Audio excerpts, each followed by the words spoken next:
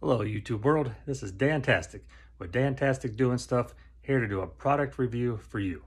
Today I'm going to do a product review on three different products. Uh, all of them are for asphalt roofs, the mold that grows on them, and how to remove them.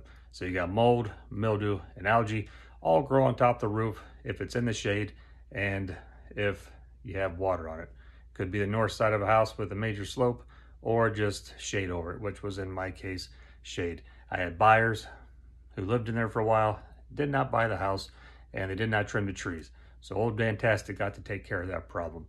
So I have three products I'm going to check out. Hopefully save you time, money, and effort, energy on finding out which one you want to use for your house. I will say, a little bit of a spoiler, two of the products worked better than the last one. The last one did not work at all.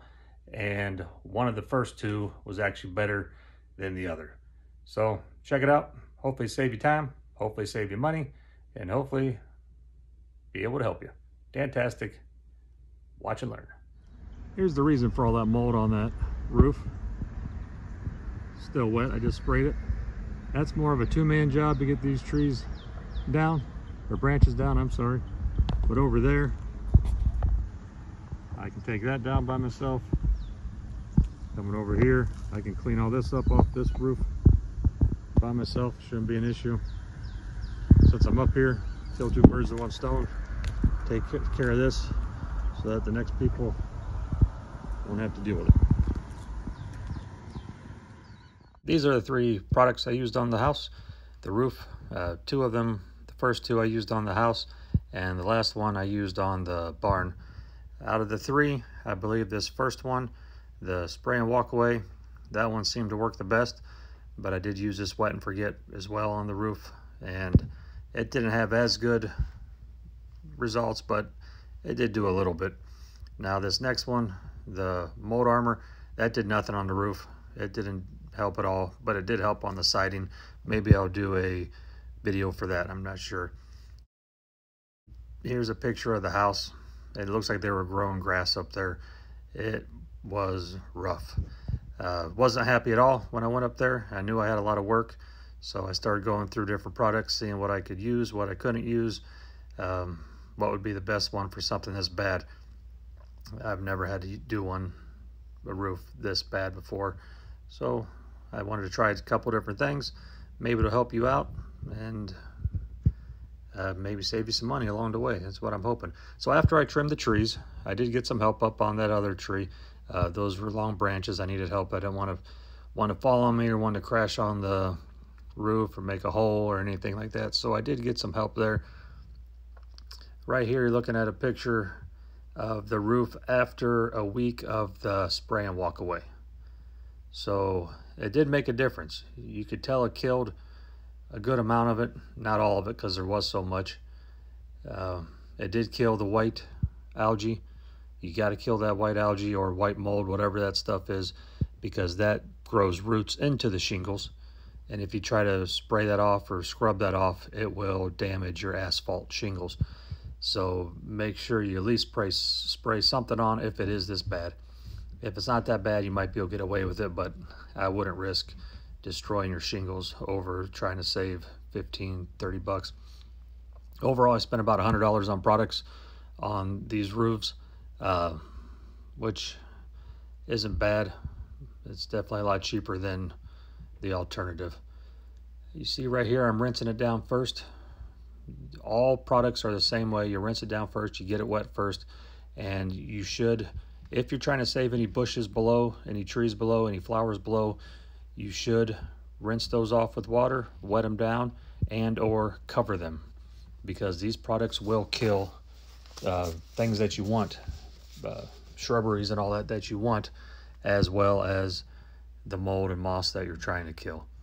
My son was down on the ground cleaning up our mulch beds.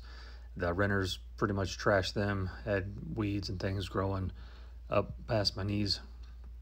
So we had a good amount of work down there, and I did not kill care, sorry, if we killed anything down there because we had to pull it all up, put plastic down, and put more mulch down anyway, and plant some new plants. So you see here I'm soaking it, getting wet, starting from top to bottom. uh, letting the water rinse down, making sure I have good footing, don't want to slip and fall. That is one of the things that may cause you to just hire someone to do this. I did save roughly 800 maybe between the two roofs, maybe a thousand dollars by doing it myself. Uh, but if I had a really steep roof, dangerous roof, roof I could get hurt on, it would have been worth me just paying the money. I lived in this house years ago, so I've been up on this roof hundreds of times, cleaning gutters, trimming trees, putting Christmas lights on, and all that. So this was an easy roof for me. But I'm rinsing it down, soaking it down. You can cover your gutters if you want to. I did not because I was going to clean them out anyway. Uh, you don't want that mold, moss, algae to get down in your downspout, clog it. And if you have an underground gutter, you definitely don't want to clog that where you have to dig it up. So then you'll have a huge mess instead of just a bad roof. Nobody wants to start digging and putting new piping in. So I just, after I scrubbed it off, I just cleaned up the gutters. Um, you can cover them if you want to. That's not a big deal. But so after you soak it, soak it with just normal water. There is a setting on all of these containers, these product containers. One that will say water and one that will say product or soap or something along that nature for you to know that the actual product will start coming out. You'll see that in a little bit. The product comes out uh, white foam, so you cannot confuse it between the water and the foam. You'll know exactly where you put it and where you need to put it. This was about a four week project for me. Like I told you, that I already put the product on that wet and forget. And a week later, I'm up on the roof again, putting the next product on. And it was, I think, about three weeks after this that I went back up there with the brush and the power washer. Right there's the knob I was just talking about. I'm about to start spraying the product out. You'll see the, the white soapy material come out. It is not soap. This is not stuff you'd want absorbing into your skin. So if you get it on you, like everything, like everything, every product you have out there, whether killing weeds, ants, or whatever, make sure you wash it off. You spray it on just like that. Uh, like I told you, I don't really care about anything below because I planted new, new plants, new mulch, new everything. So I didn't really care about where it was going down below.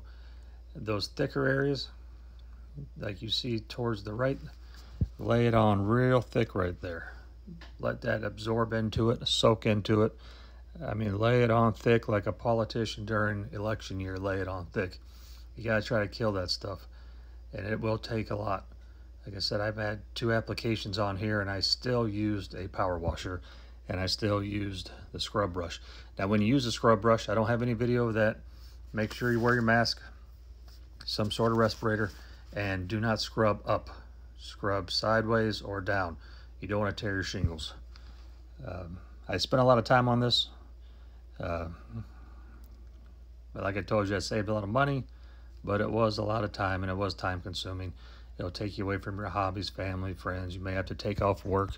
So just kind of think about it that way. Is it worth worth it to you? For me, $800 was definitely worth it to me. I already, already had to spend a lot of money on this house, getting it ready.